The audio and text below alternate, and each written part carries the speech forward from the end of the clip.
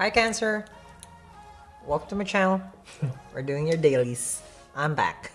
the 12 June dailies. Let's see how far we can go with this.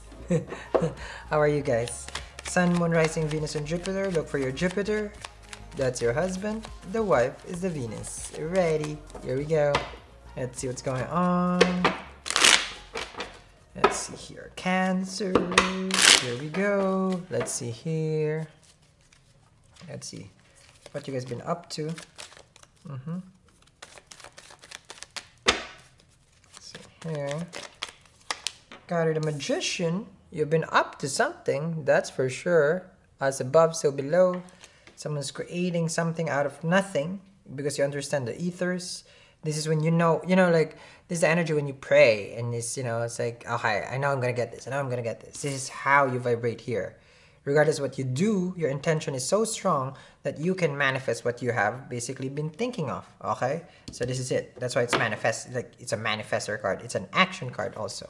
Okay, could be dealing with a Virgo or a Gemini. You can use any of the tools here. That's why they also have your you have all the tools.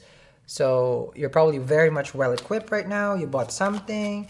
You know, this is someone who's probably just you know got a whole haul. Basically, that's what they call it.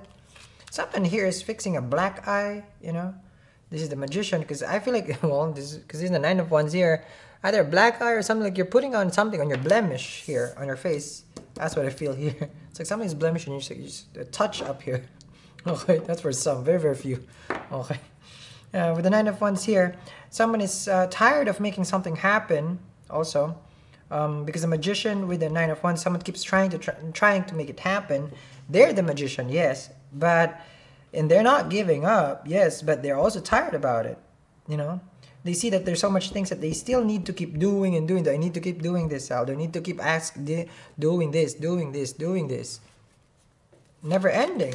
If it's a movie, it's called a never ending story. Mm-hmm. see here. Have the Ace of Cups, doing it out of love. That's for sure. The Ace of Cups, because you know what is worth fighting for? It's always gonna say love. Well, it is here. This is something that's worth fighting for, not worth waiting for. Big difference.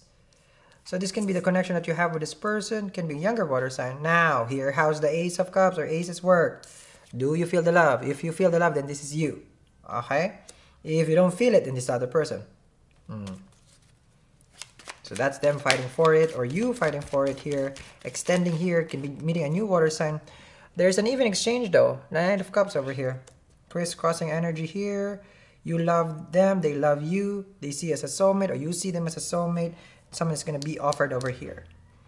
But this offer comes with a lot of things that has happened already in the past. Someone here was singled and butchered, you know, like they were the one really chasing for the connection, making it happen. And now it's only just now that it's manifesting. Oh, wow. Yep, someone is tired here. Ten of Swords here. Might as well feed me to the crocodiles, you know. Because the Ten of Swords is just like, it's so painful. It hurts so much. You know, this is the acupuncture card for me. It's like you think it was healing, but it wasn't. You think it was addressing the issues, but it wasn't. It was all lies, lies, lies. Okay? Don't get lost magician okay? You're trying to really push something hard like you really want to go hard basically for you with the magician and nine of wands here either go hard or go home okay? And you're not going home because the ace of cups is here it's worth fighting for. This is what you have chosen. Nine of cups it comes with you. And ten of swords is all about you know what? Let's start all over again. Because Ten of Swords is the finality of the mind games, finality of the overthinking. It's all about the finals of the thoughts. It can be even someone who just finished their exams because there's a lot of tests. So you can be a student, you finish all the exams, and then now starts a new life. All right, so consider, and I'm going to continue this reading as we move forward with these energies together with the four points. Link is down there in the description box, you know, if you want to follow the extended also follow me on IG guys. I also post there one card read, have a one. Oh, and make sure to turn on the bell right there, I think. All right. Thank you very much guys for watching Cancerians. I'll see you guys again. Ciao.